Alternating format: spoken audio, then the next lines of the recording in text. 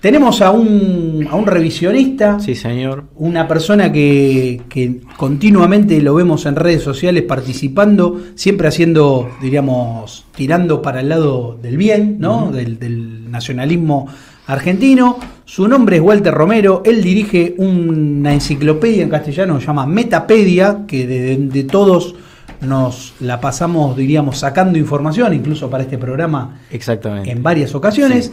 Sí. Y tenemos la suerte de que sea amigo de la casa. Bienvenido Walter Romero a Tori Pampa por primera vez. ¿Cómo le va, amigo?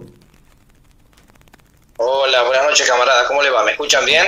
Buenas noches, Perfecto. Walter. Excelente. Se escucha perfecto, Walter. Ahora te escuchamos bien. Había como un. No hay, no hay láser, ¿no? No, ahora ya no, ya no. Parecía el, el sable láser de Darth Vader. Pero bueno, ahora. Gracias. Ah, exactamente. Alguno que estaba queriendo interrumpir la conexión de, de, de patriotas, de nacionalistas. Bueno, ¿cómo va la cosa por allá? ¿Por dónde anda usted? ¿Todo tranquilo? Primero, ante, primero, ante todo, muchas gracias por invitarme. Por acá todo muy tranquilo. No sabía que iba a estar Héctor, un amigazo, un camarada. Era una sorpresa. ¿Cómo andas? ¿Cómo andas, Walter? Un gusto, realmente. Un gusto muy grande. ¿Fue la última vez que nos vimos? Y fue hace, creo que dos elecciones atrás, me parece, ¿no? 2015, Fue en 2017, distribuyendo panfletos allá en Entre Ríos y Caseros. Sí, señor. Sí, señor, sí, señor. Sí, señor. Ah, ¿sí? Sí, sí. Esperá, yo en 2017 estaba. Eh, vaya a saber En dónde. 2015, me 2015, parece que- 2015 2015 me parece que fue. Hace rato que no venís. Fue ¿eh? 2015, Sí. también 2017, si no me equivoco. o No, no. 2015. En 2017 no viniste al final. Ah, ¿Por dónde andás ahora? Por ahí. está bien, está bien. El hombre está que no bien, tiene paradero, Está bien, Mejor, no revelar. ¿Por qué será? Bueno, En Walter. algún lugar de Brasil. Bueno, bien. Eh, pasándola mal, seguramente. Querido Walter, a, a todos los que invitamos por primera vez a Toro y Pampa, tenemos como una pregunta, diríamos, eh, muletilla, ¿no? Eh, que es, ¿quién es Walter Romero? O sea, preséntese en sociedad usted. A- Antes de presentarme, Pablo, permitime felicitarlo a, al camarada Héctor por ser el candidato del nacionalismo en la ciudad de Buenos Aires, capital federal. Ahí está, gracias, gracias Walter, gracias. La verdad que es, Él no es es una... precandidato, él no es precandidato, él es candidato y no es del Frente Patriota, él es candidato de todos los nacionalistas en la capital federal. Exactamente. Así Gracias, que todos Walter. los que sean nacionalistas de cualquier partido que sean, de cualquier agrupación o asociación, tienen la obligación moral de votarlo a Héctor. Él es el candidato y de todos los nacionalistas. Qué grande, es como operador de prensa. Un maestro, genial, el mejor, genial. el mejor de todos. Es un el maestro. mejor de los nuestros. Es un maestro. suele- Permitime dos segundos. Sí. Eh, yo tuve maestro y tengo maestros. Eh, en mi juventud, hace mucho. Eh, mi referente, obviamente, Calqui, René Tulián. Y acá tengo a, a otro camarada, Walter Romero. Bueno, eh, pavada de nombres has tirado, ¿no? en la mesa. Nada. Por eso yo resaltaba, antes de que Walter siga, eh, que qué grande, qué honor tenerlo entrevistado justamente uno de los camaradas de la primera Sí, hora. sí, Así sí, que- totalmente. Terrible. Bueno, preséntese en sociedad, querido amigo y camarada. Héctor, Héctor, tenés que hacer una buena campaña, tenés que tratar de conseguir votos y de no perderlos. Y para no perderlos, no le digas a nadie que sos hincha de Central. No, me, me retiro. Que diga que es de boca, ¿no? Así lo votan. De, Exactamente. de Chacarita que no diga porque no, no, no vota nada. me, me- me lleva preso. Pablo, mirá, Wal- Walter Romero es una persona común y corriente que allá por los comienzos de los años 80 se interesó por el revisionismo histórico a partir de, de leer textos escritos por Ernest Sandel, que en paz descanse, y un libro que seguramente todos ustedes ya, ya lo leyeron, que se llama De Reto Mundial, del, del profesor y periodista genial mexicano eh, Salvador Borrego. Eh, bueno, ah, ahí podía observar que dicha historia eh, era bien diferente a la que te cuentan por la televisión. En esa época no, no existía History Channel, ni Wikipedia, ni canales de cable. Eh, esa historia era contada por medio de películas que venían de los Estados Unidos. Eran historias completamente diferentes sobre un mismo hecho histórico. ¿Cómo podía ser? Claro. Bueno, a partir de ahí, eh, Walter Romero eh, le interesó el tema histórico, estudié historia en la facultad en la UBA, la- hice la licenciatura en historia bueno, de ahí me acerqué al revisionismo. Perfecto. Compraba muchas revistas sobre revisionismos, ahí en, hay un kiosquito, ah, no sé si existe el kiosquito de revistas, que a principios de la década del 80 eh, estaba en Corrientes, 9 de julio, del camarada Martins, no sé si esto se acuerda de él. Sí, sí, me acuerdo, me acuerdo. Y había otro también diagonal a Congreso. Eh, en, eh, donde estaba el molino, había uno ahí también donde se podía uno poderse hacerse de alguna revista, sí, textos prohibidos, ¿no? Sí, ¿qué va a ser? Los textos prohibidos por el sistema, ¿no? Lo que el sistema calla. Obviamente. Eh, bueno, y ahí llegaban muchas revistas, la revista Sedade de España, de, que estamos hablando años 80, 81.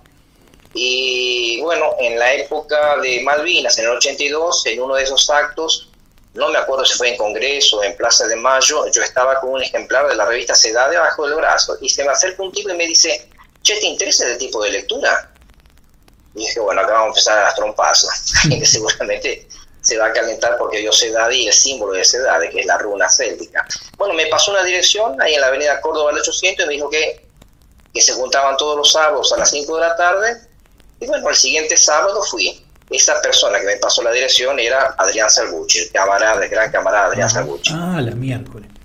Eh, ahí en CEDADE conocí, participé de charlas eh, de personas como el profesor eh, de Maíe, que daba charlas por lo menos una vez por mes, del camarada Héctor Vuela, que estuvo con ustedes hace unas semanas. Así es. De de Denis Martos, a quien tenés que invitar, Pablo y eh, Juana, al programa de ustedes, sí o sí, es una biblioteca ambulante el camarada Denis. Lo tenemos que llamar por Charlas también con, Adrián Salgucci, con Attilio Carelli, que era italiano, bueno, un montón de gente que de revisionismo histórico sabía y mucho. Y casi todos los sábados se pasaban películas prohibidas por el sistema, como vos decís, Héctor. Películas que no se pasan en la televisión, ni en la TV abierta, ni en el cable ya sabrás cuáles películas me refiero. Y todo eso te abre la mente, te muestra otro panorama, otra versión de la historia, una historia que cuestiona todo lo afirmado en la década de los 40 para acá por la historia oficial. Claro. Claro. Después de la derrota mundial, ¿no? que, bien exalta. Que digo, luego de la derrota mundial que bien exalta eh, el profesor eh, Salvador Borrego, ¿no? El, el maestro. Salvador un fenómeno, un fenómeno, no solamente profesor, historiador, eh, filósofo, revisionista, eh, bueno, murió hace poco tiempo, lamentablemente. Mm. Bueno, incentivado por toda esa gente, eh, ahí decidí hacer una revista que sea más económica que las que se vendían en los kioscos. Las que venían de Europa eran muy caras en aquella época, y el, con el dólar era carísimo. Una revistita de esas te costaba 20 dólares. Claro. Las que venían de, de Europa venían con una encuadernación espectacular pero a veces prohibitiva para el bolsillo de los camaradas que querían informarse sobre esos temas. Entonces se me ocurrió imprimir una revistita llamada Historia NR, con solo 20 páginas y a un precio accesible.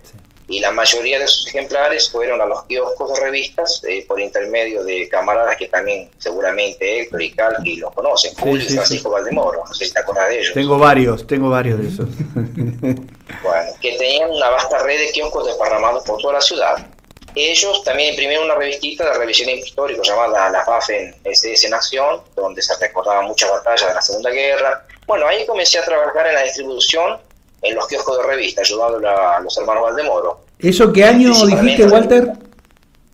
82, 83, 84, 85, 86. Claro, cuando empezó la, la, la demoniocracia, ¿no? En la Argentina.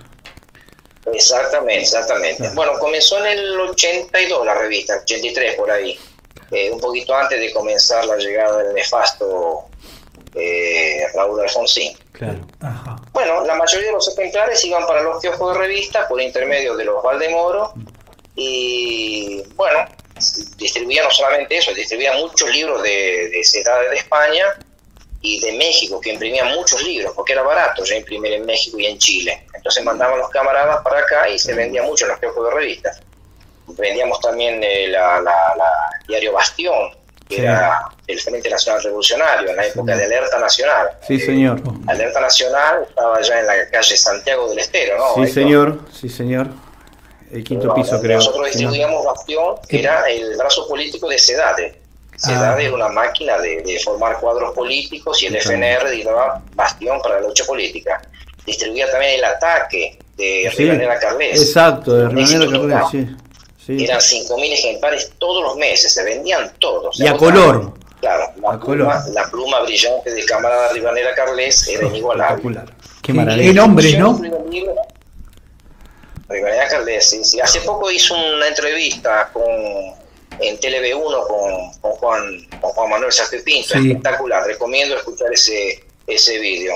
Sí, eh, bueno, se incluía en la distribución libros de Europa, eh, de, México, de Chile y algunos que se hacían argentinos. Eh, yo imprimí, tuve el honor de imprimir varios libros de Rivera Carles, que hizo dos colecciones, una colección que era la Biblioteca de Formación Doctrinaria, que sería la continuación de los libros de milicia de la década del 70 eh, y también la otra colección que era el Instituto de Investigaciones sobre la Cuestión Judía, con libros recordados como eh, El Judaísmo y la Semana, y la, Semana Trágica.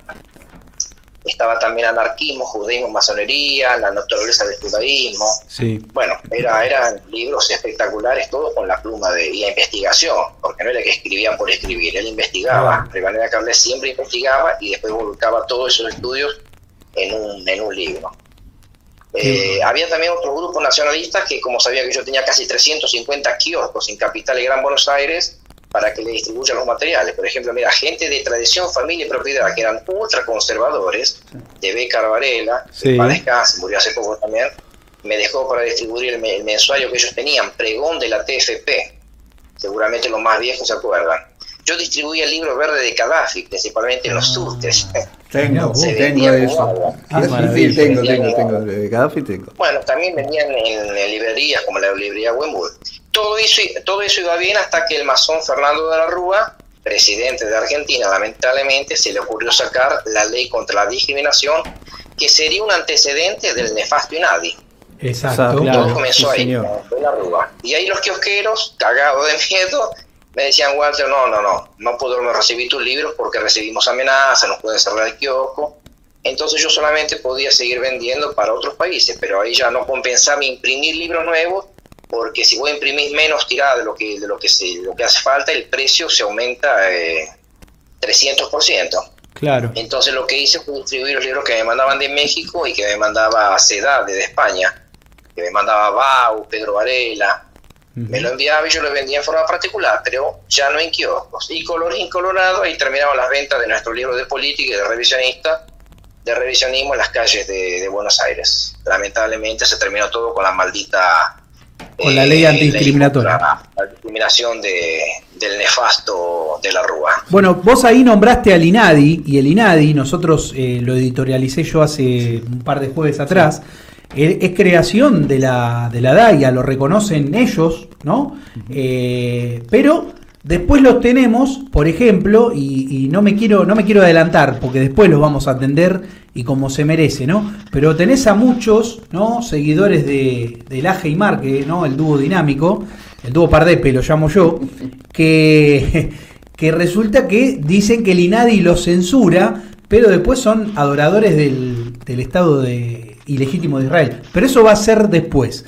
Decinos, Walter, bueno, viene la ley de antidiscriminatoria.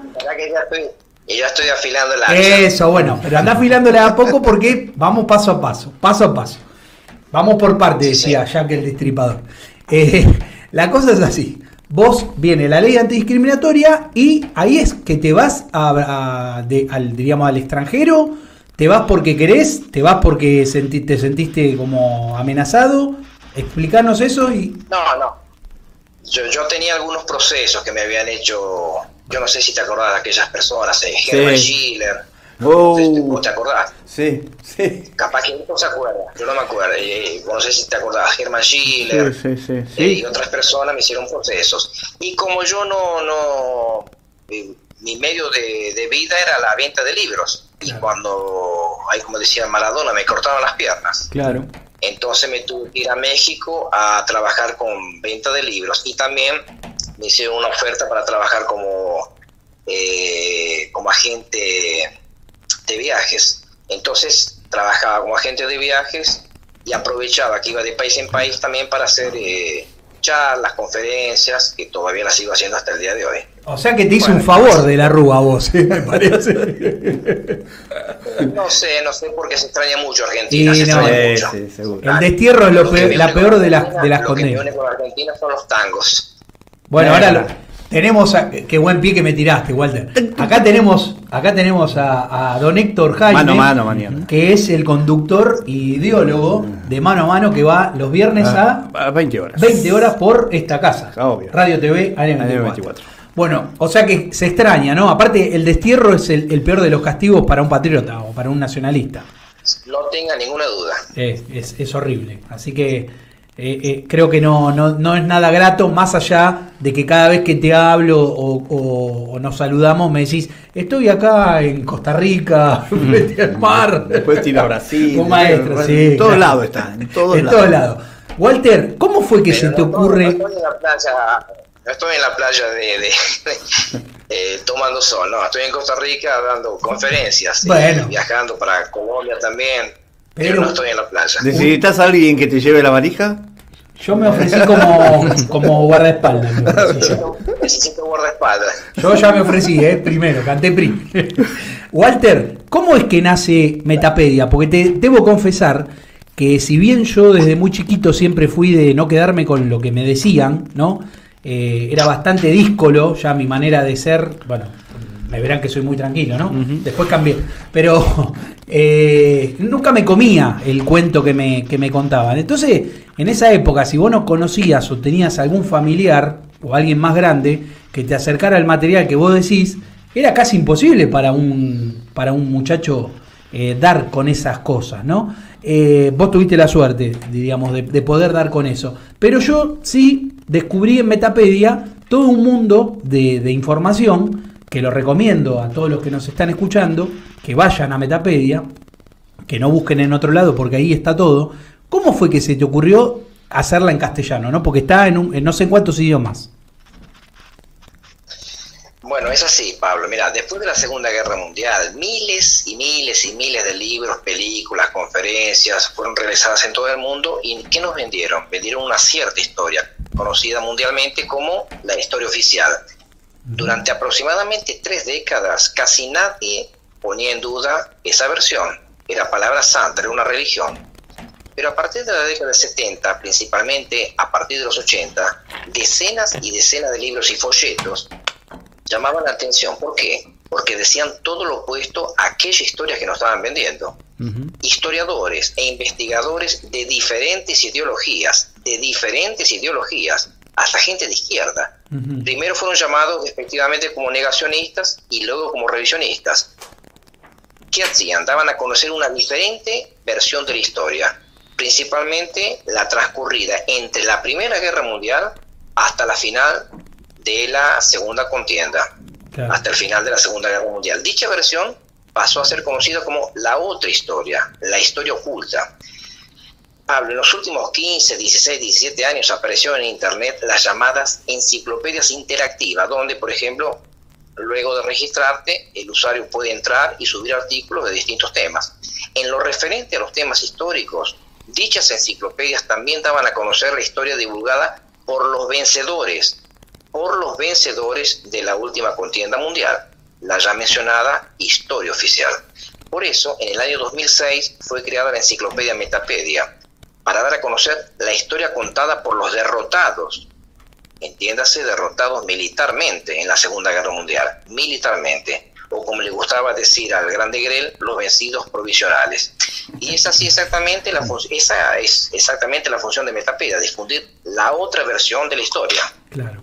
Claro, la que. O Cuando sea, me piden la definición de Metapedia, eh, yo eh, le respondo que tengo dos versiones. La oficial que dice que Metapedia es una enciclopedia, es una enciclopedia electrónica que habla sobre, por ejemplo, historia, cultura, arte, ciencia, filosofía, religión y política, obviamente, y editada en 20 idiomas.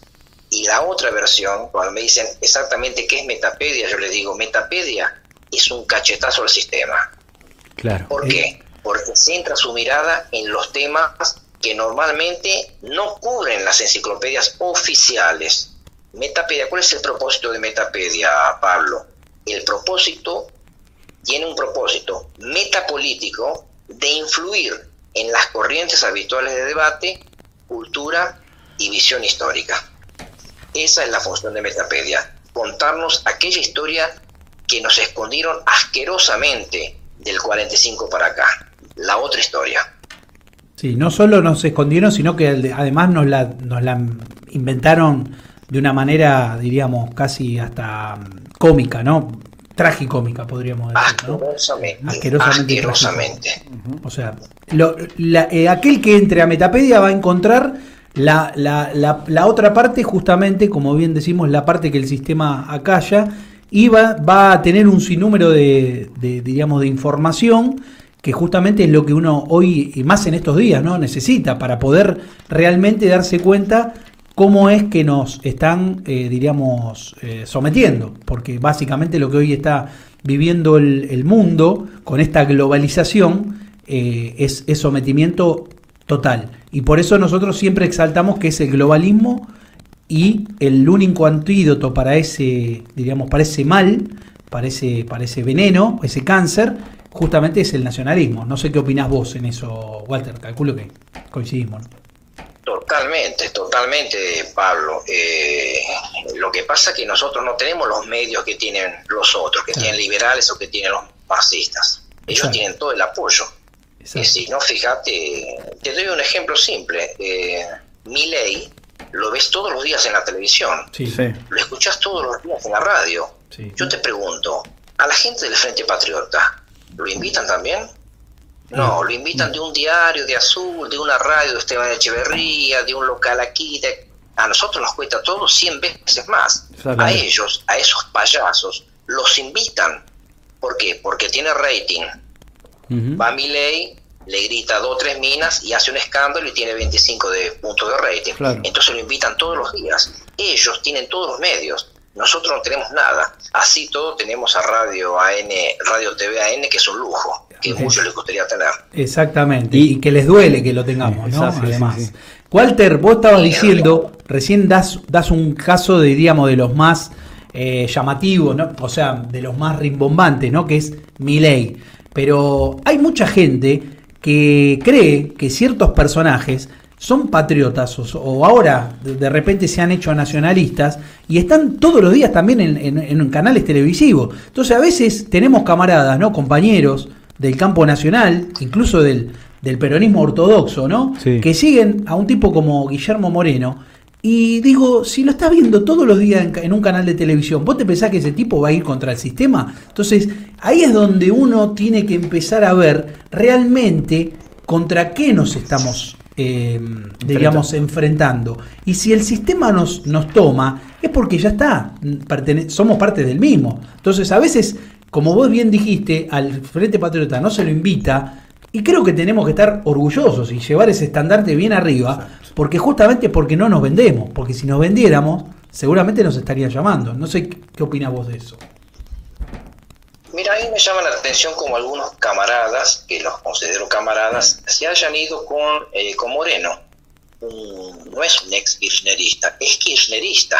Eh, es, un, es una persona que si gana votos en la, en, la, primera vuelta, en la segunda vuelta va a ser colectora del kirchnerismo. Exacto. Entonces me llama la atención como camaradas que yo conozco, camaradas, camaradas totales, eh, se pueden ir con, con Moreno.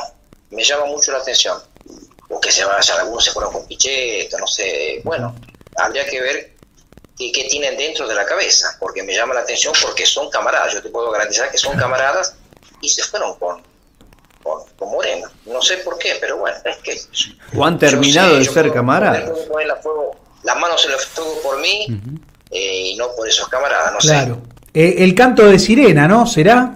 Que capaz que los, los ensegueció, los ensordeció, ¿no? Claro que porque si no no se explica.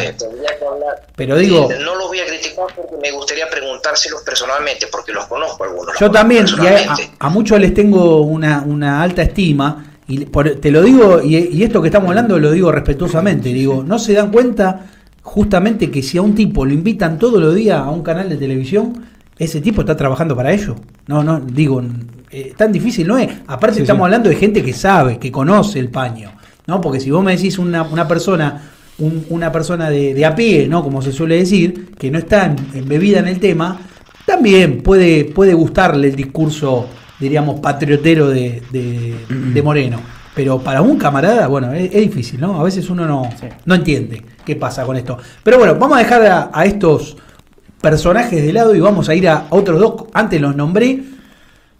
El dúo dinámico Márquez Laje, que siempre dicen que los están persiguiendo, que los prohíben acá, que los prohíben allá, pero resulta que dan conferencias en toda América y venden libros en la, en la librería, el Ateneo, Sí, sí, sí, sí, sí, sí. todas las, digamos, las, las, las buenas, ¿no? No, librería no librería. Huemul. No, la, la del barrio no. No las de barrio, ¿no?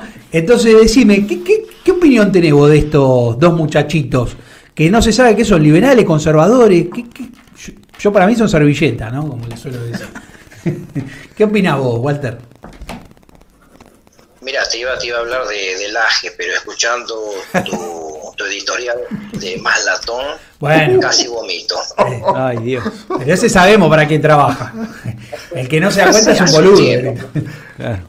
Hace un tiempo yo escribí un, un artículo en el, en el Face, hace un año, un año y medio, sobre los liberales y el mate. No sé si ustedes lo leyeron. No lo vi, yo Me no lo vi tampoco. Es cortito, me gustaría leerlo después. Ya, no, no, no, era, no iba a hablar eh, de ese tema acá, pero como hablaste del mate y, no, y lo pusiste ahí a Claro. capaz que después te leo dos o tres líneas de, de ese, de ese artículo. Pero cómo no, un honor. Realmente vomitivo. ¿Cuánto- ¿Cuántas horas de programa tenemos? ¿Tenemos tres, cuatro, cinco horas de programa? Entonces- Ah, tenemos trasnoche hoy. Tenemos trasnoche. Dos y media, Germán. Don Alejandro nos dio el. Pedimos la pizza. ¿No hay, no hay problema de horario? Nosotros no tenemos problema. Acá el problema lo tiene el, el operador pobre que se quiere ir a la casa. No, no, está bien. que tiene que aguantar la- a, la- a toda la tertulia. Lo vamos a hacer lo más rápido posible. Dale, Mirá, dale, dale. eh, el liberalismo, Pablo, Héctor, Juan, es otra de las trampas del sistema. Y, y no es un caso aislado lo que, lo que pasa en nuestro país, para nada. Eh, yo cuando voy a Costa Rica, a El Salvador, allá hay muchos Agustín Laje eh, locales, ¿eh? Y que están bancados por, por, por grandes eh, agrupaciones liberales, eh, agrupaciones no, por eh, organizaciones liberales, y bancados también por la embajada yanqui en cada país. Eh, te puedo garantizar que los libertarios están eh, saliendo como hongos después de la, de, de la lluvia, eh, tipo Agustín Laje, solo, solo que el Laje es más conocido. Claro. Yo, yo observo en las redes sociales que lo que ¿sabes lo que me molesta? Que, que muchos nacionalistas se pelean entre ellos por defender a un ícono del liberalismo clásico, Agustín Laje. Claro. Se pelean entre ellos. Eso es incomprensible. Algunos camaradas fustigan a Laje con razón por su nefasta ideología política. Otros camaradas lo apoyan. ¿Por qué lo apoyan? Por un libro que él, que él escribió en coautoría con Márquez, el libro negro de la nueva historia. De la nueva izquierda. Camarada, yo le diría que estamos eh, de la nueva izquierda, que es la nueva historia. Eso. La nueva historia es la que nosotros vamos a hacer Es, en las próximas elecciones. Muy bien. Eh, yo, yo le digo, camarada, no mezclen la paja con, con el trigo. Una cosa es el libro que Laje escribió, que para mí es un libro eh, muy bueno. Brinda datos contundentes contra la, la ideología de género y otras hierbas. No podemos decir que el libro es una bosta por el solo hecho que lo escribió eh, Agustín Laje y, al, y Laje ser liberal. Si no, estamos meando fuera del tarro. Eh, 2 más 2 es 4, lo diga quien lo diga y punto, no se discute. Decir que el libro es excelente no te convierte automáticamente en un Claro. Furioso liberal, nada que ver.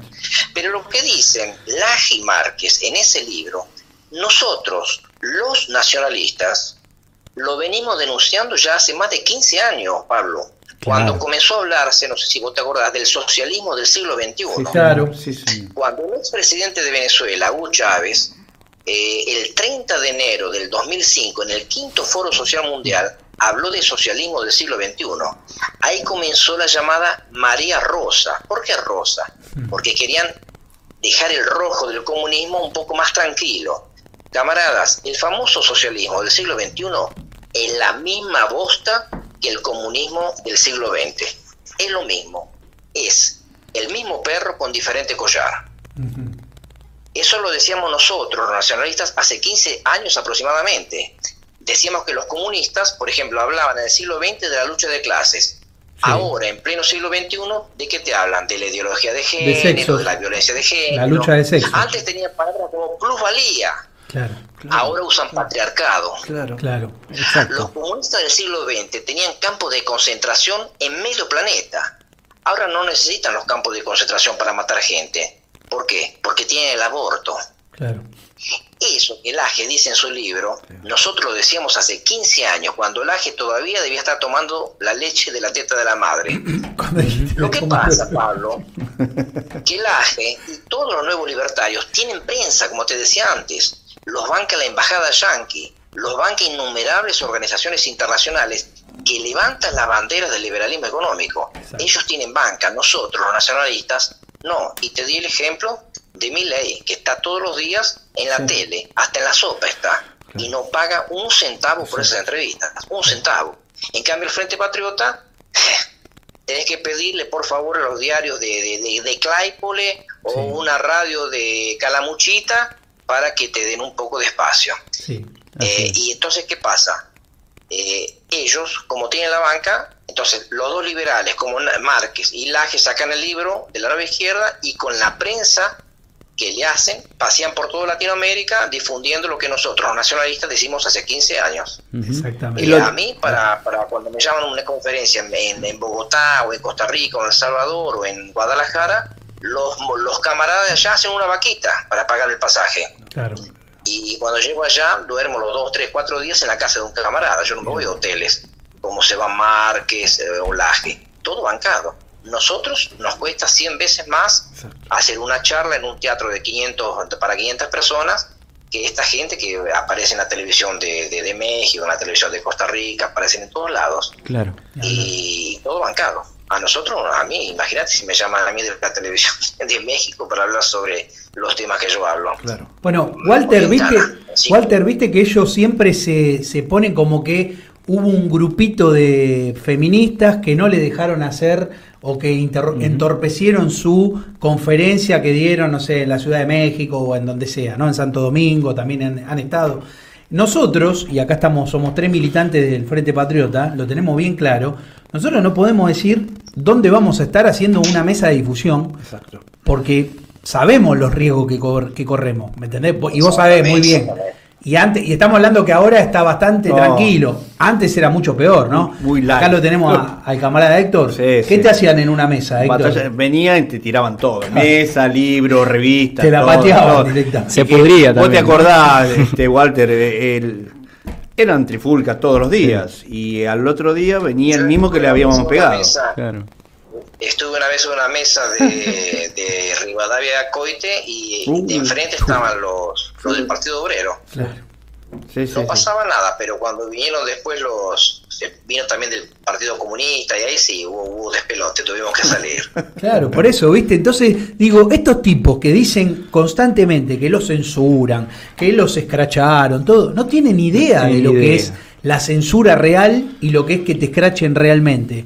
Nosotros en, en el eh, cuando en el 24 de mayo del 2019 eh, que hicimos el acto en, en Unión Benevolenza, Sí. antes del acto los antifa esto escracharon toda Unión de Benevolenza, hubo que limpiar todo en, en- en apenas Sí, dos horas. sí, sí. ¿Me entendés? Es, esas realmente eh, sentirse atacados por el otro. Obviamente que nosotros le ponemos el pecho y no y creo que hasta nos gusta, ¿no? Porque tenemos ese espíritu combativo. Claro. Pero estas dos maricas lo único que hacen es victimizarse, victimizarse de la nada misma, ¿no? Porque si existe una parte del sistema, existe la otra parte y ellos son la otra parte, ¿no? Como dice siempre Alejandro Bendini, las dos caras de la misma moneda y esto es exactamente lo mismo. Y además se autoperciben, mira vos, se Se autoperciben oposición.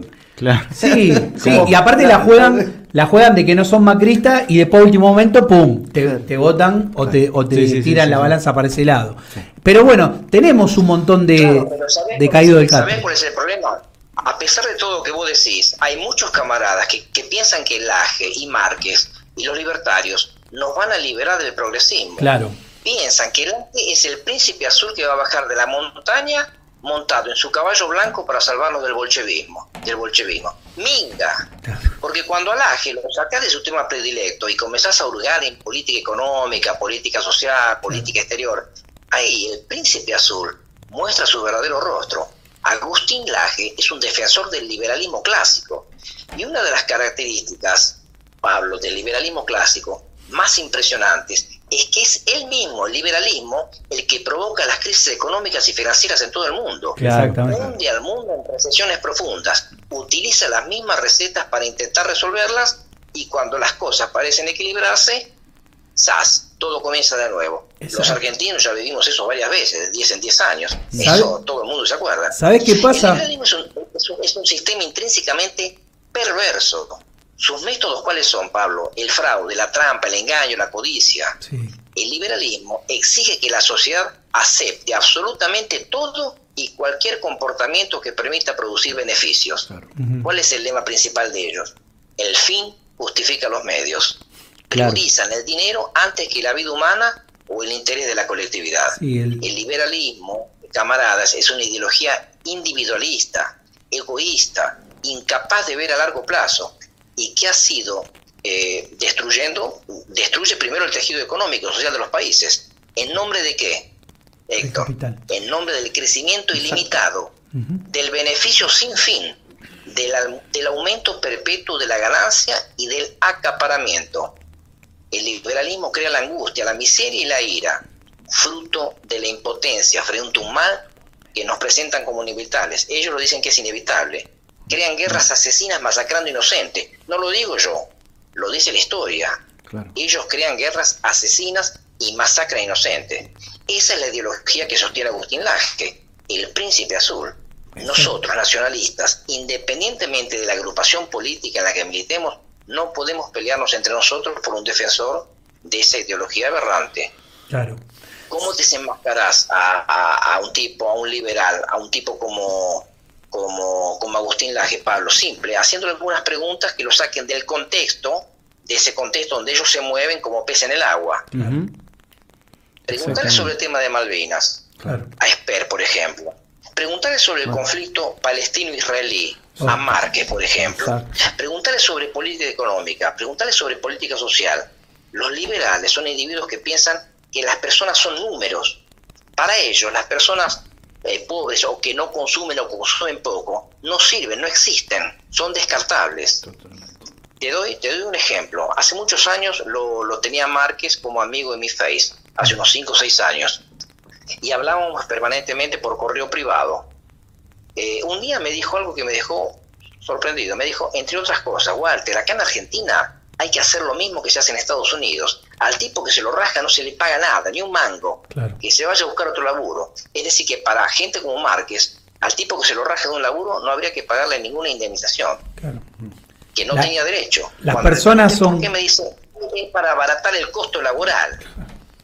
Mirá qué, qué, qué- qué pensamiento miserable que tienen estos hijos de puta. Sí, sí. Es terrible. Estos son peores que los bolches. Son peor que los bolches. Sí, Ahí está, ahí está el tema. Es mucho más, eh, pa- parece mentira, ¿no? Porque parece que nosotros, justamente que somos anticomunistas acérrimos, ¿no? Detestamos al comunismo, pero tenemos que andar aclarando y a veces quedamos como que estamos defendiendo lo otro, porque esta gente es peor, Exacto. porque estos, estos un Milei eh, te lo dice en cámara que al usurero es una buena persona, que hay que quererlo, que es un tipo que es in- eh, necesario para la comunidad. Y cuando sabemos que la usura es lo que destruye a todos los países, a todos los países, no importa dónde estén, en qué lugar de la Tierra. Exacto. Estados Unidos, que es el país más capitalista de la historia, de la, de la- del, globo, del globo terráqueo, es el país más endeudado Claro. con, la, con la banca privada.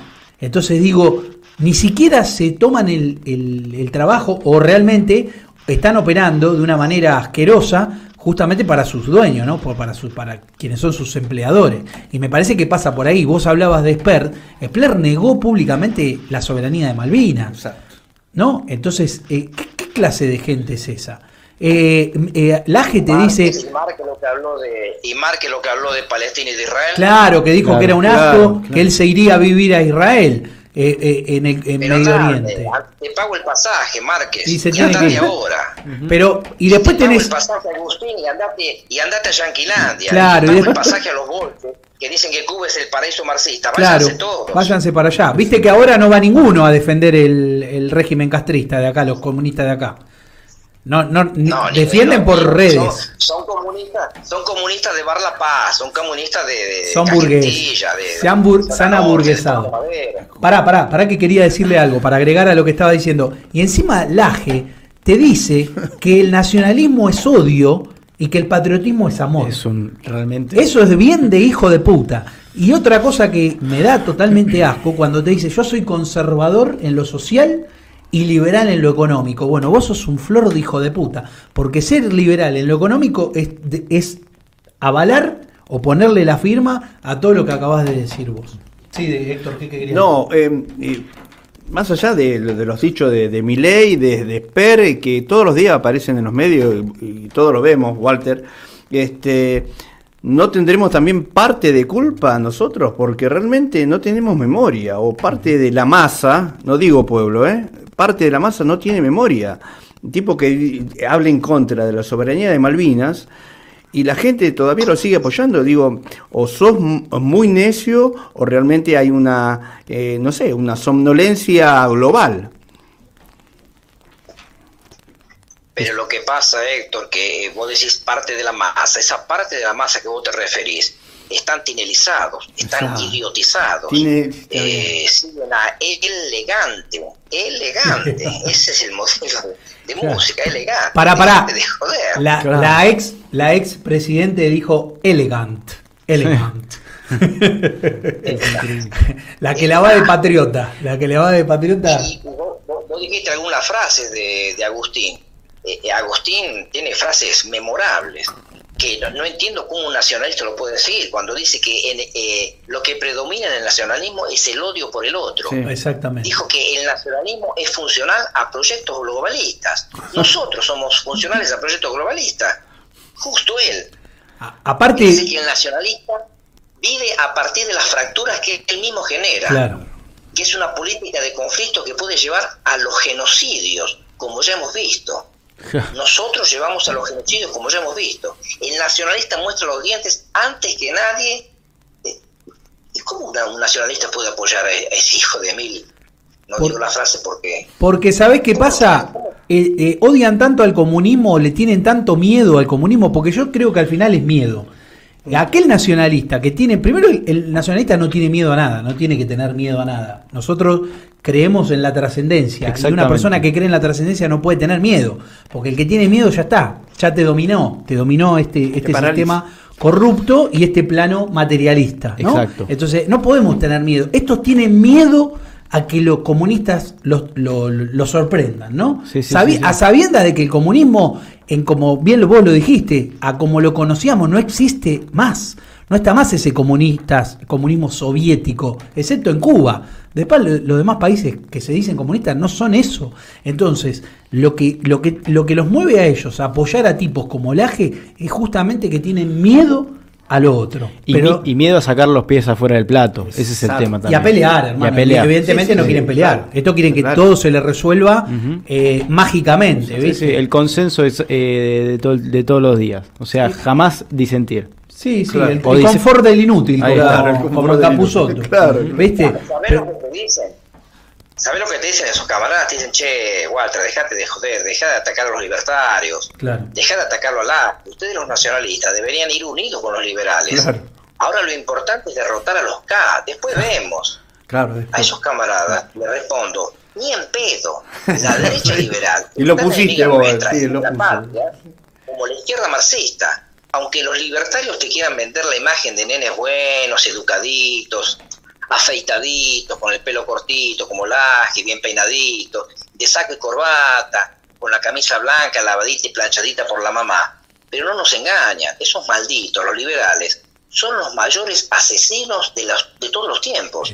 Mataron mucho más que los rojos, porque sus políticas liberales son las causantes de las mayores tragedias Exacto. e injusticias que vio el planeta Tierra. Y Sus- injusticia suscribo. también mata. Totalmente. Suscribo. Mata mucho más las políticas liberales que el hierro o, o- o la bala Sí. marxista. Bien lo dijo Primo de Rivera, ¿no? Él le, tenía, le temía más a la palmadita libe- derechoide que a la, que a la bala marxista, ¿no? Pero además hablando del, del, marxismo, del marxismo cultural, Fíjense como los grandes grupos eh, empresarios del mundo, eh, no, no solo económicos, ah. pero empresarios del mundo, o sea, las principales marcas, más que nada, para ponerlo más claro, eh, con el supuesto mes del orgullo, han cambiado toda su imagen para privilegiar a, los gays, ¿no? Más globalista que eso, y no son los comunistas. Claro, más globalista que comunistas. eso, ¿eh? Listo. Coca-Cola, yo lo, yo lo editorialicé acá. Acá Coca-Cola en el, día del, del orgullo de los infradotados, esto lo, amorfo, justamente puso en su etiqueta el, trapo multicolor. Y Pride. Y, después, y después ves a Laje y a Marque diciendo que van en contra del colectivo LGBT, cuando el colectivo LGBT no lo crean los comunistas, lo crea el liberalismo y el libertinaje, que sabemos muy bien qué pasó en la Europa del 20 y el del 30. No eran los rojos solamente, eran los liberales los que habían tomado el poder y que hambraban al, al pueblo.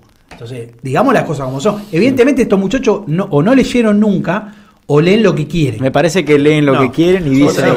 O, no, me parece que son elementos que los utilizan y, además responden a un poder. El liberalismo, el liberalismo es la antesala del marxismo. Exactamente. El liberalismo es la antesala del progresismo.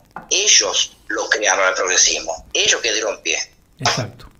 Ahí está. ¿Y vos, vos coincidís con que Laje y Márquez también son producto del progresismo?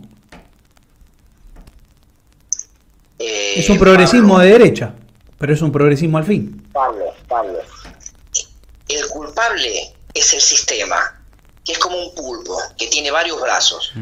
Uno de los brazos es el liberalismo y el otro es el marxismo. Son productos del mismo sistema podrido que nos desgobierna del 45 para acá. Es simple. Se pelean entre ellos para ver quién agarra con la parte de la torta esta vez y esta vez la agarras vos, pero todo responde al sistema. Por eso que todos participan en la, televisión, en la radio, lo llaman todos los días. A Del Caño lo llaman todos los días. Y a Miley también. ¿Por qué? Porque son parte del sistema. No importa si pelean entre ellos. Claro, Sí, te los ponen a debatir y es como ver una, pelea de inválidos. todos pasan por el mismo cajero y además eh, no mueven no mueven en el perímetro político, eso está claro. Si la gente que está dice, no, no, yo me quedo con Milei, no, no, yo me quedo con Del Caño, no, yo, yo me quedo con, con Moreno. Son todos parte del sistema. Exactamente, exactamente. El único, el único movimiento verdaderamente antisistema que tiene la Confederación Argentina es hoy el Frente Patriota. Y que ha logrado meterse en el sistema para tengo cinco minutos, Tengo cinco minutos. Sí, dale, dale, dale, Walter. Porque quería leer, esto sí quería leer, es, un artículo que hizo eh, el licenciado Juan Carlos eh, Monedero Hijo, que él viene del nacionalismo católico, como sabemos, de, la antigua revista Cabildo, de la MNR, Movimiento Nacionalista de Restauración. Yo digo estas cosas, no sé si ustedes se acuerdan, Héctor seguro se acuerda. Sí, me acuerdo, sí. Eh, viene del nacionalismo, pero tiene un artículo que, me, que me llamó la atención, que dice, unirnos bajo el término derecha, respuesta contrarrevolucionaria a Agustín Laje. Y dentro hay un subtítulo de unas líneas que dice hacernos cargo de la derecha, como diciendo nosotros los nacionalistas tenemos que ir unidos a, esta gente y hacernos cargo de la derecha. Y dice así, lo leo. Por otro lado, si nos llevamos de la propuesta de Agustín Laje, estaríamos haciéndonos cargo, haciéndonos cargo de todo el contenido del término derecha, indiscriminadamente. La confusión sería aún mayor. Con hacernos cargo no nos referimos al contenido que el periodismo progre marxista le asigna a la palabra derecha, no. Nos referimos al contenido que los propios derechistas reivindican. ¿Por qué tenemos que asumir como propias decisiones del gobierno de los Estados Unidos respecto a la guerra en el Medio Oriente? ¿Por qué tendríamos los argentinos que incorporar a Ronald Reagan o a la cínica Margaret Thatcher, a quien no le tembló el pulso para hundir el crucero General Belgrano aquel 2 de mayo del 82, donde perdieron la vida 323 tripulantes argentinos.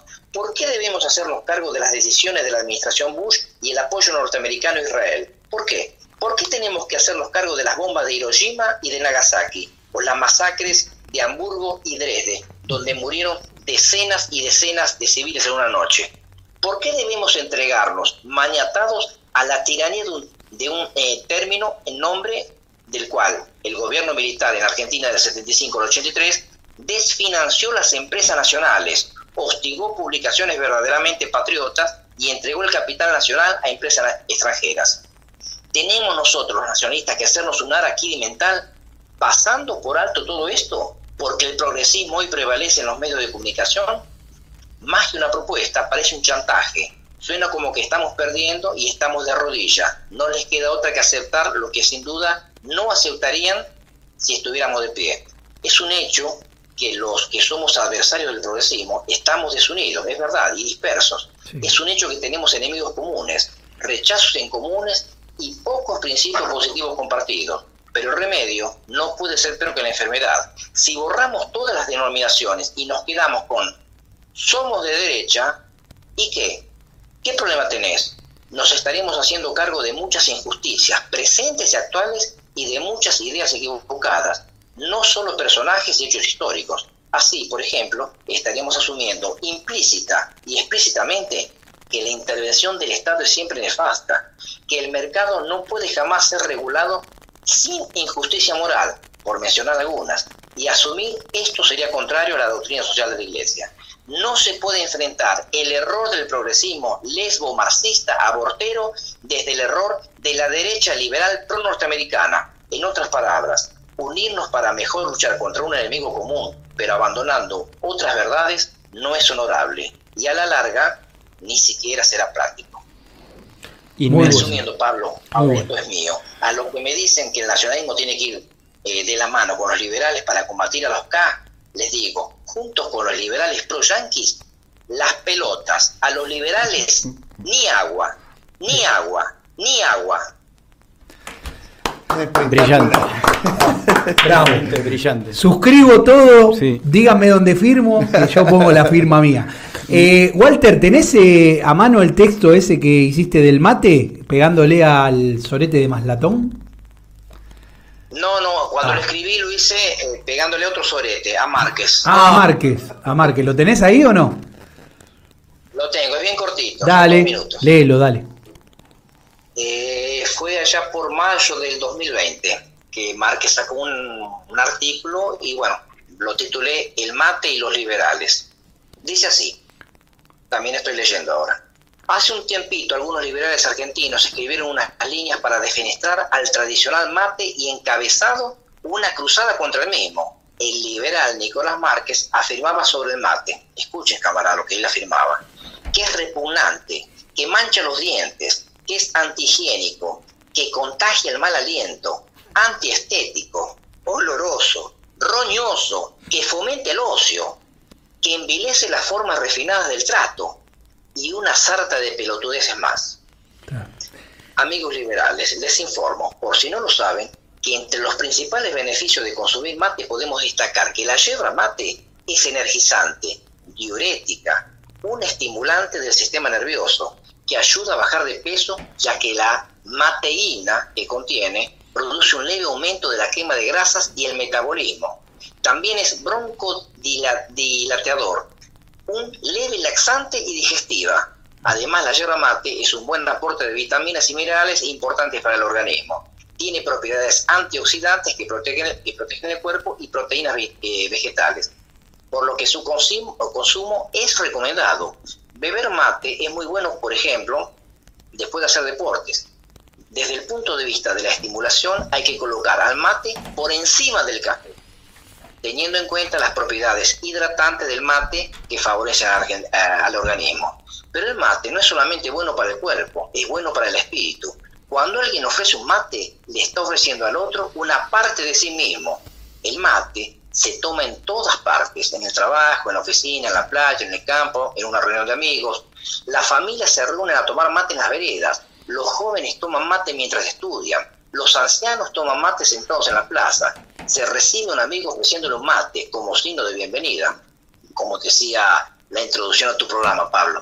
Aun cuando en las ocasiones coincide que más de uno tiene su mate, aún así es costumbre aceptarle el mate al otro como gesto de amistad es por eso que en torno del mate se entretejen historias y crecen amistad. El mate no soporta más que una cebada entre personas incompatibles, dado que lleva implícito el inconfundible signo de un cariño conciliable. aunque el punto de vista de la conversación entre las partes no sea el mismo o difiere en, distintos aspectos.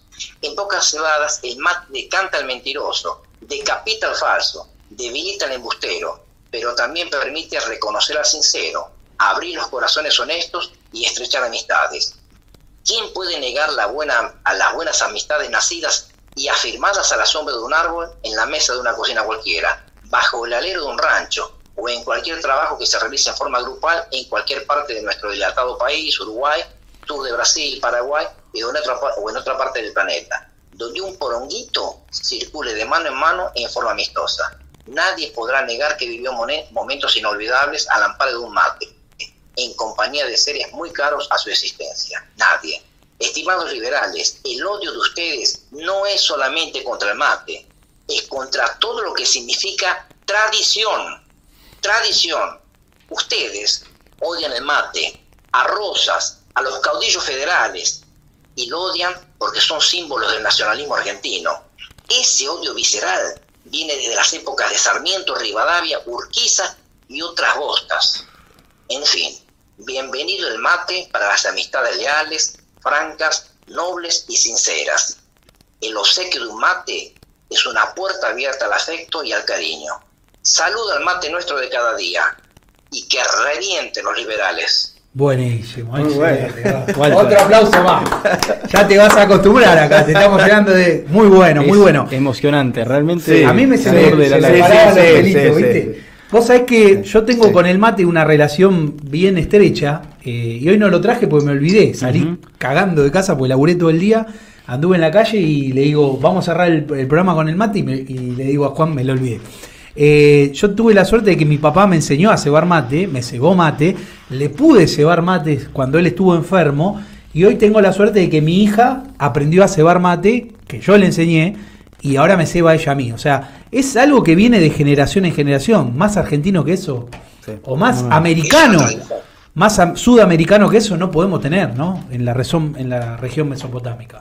Así que la verdad que esta gente, bien lo dijiste, son los herederos de, de toda esa lacra liberal.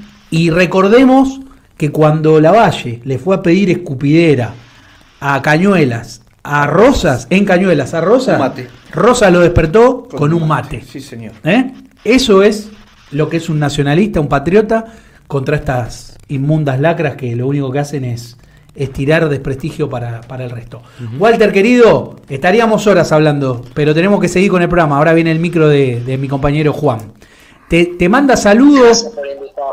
No, a vos, a vos por, por, por tener este, esta, diríamos, dedicarnos este tiempo, eh, darnos siempre difusión. Eh, como te dije, yo empecé leyendo Metapedia y hoy tengo la suerte de pertenecer a Metapedia. Juancito también está en Metapedia. Yo también estoy en Metapedia. Héctor Jaime también está en Metapedia. y para nosotros es un orgullo. Quizás para otros no, pero para nosotros, realmente. Así que te lo agradecemos, creo que los tres. Eh, te manda saludos Leo Guoso del MNS. Militaba con vos allá por la década del 80. Sí, me acuerdo, me acuerdo, me acuerdo. te manda un gran abrazo. Quería agradecerte Juan, Pablo y Héctor por haberme invitado.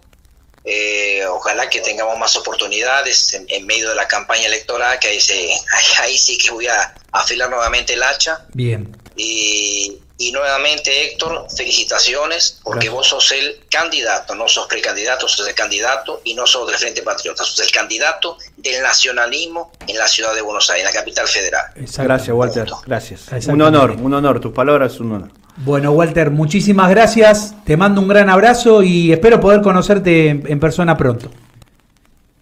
Seguramente. Un abrazo a todos. Lo mismo digo. Un abrazo. Abrazo, Walter. Bueno, gente, así pasaba Don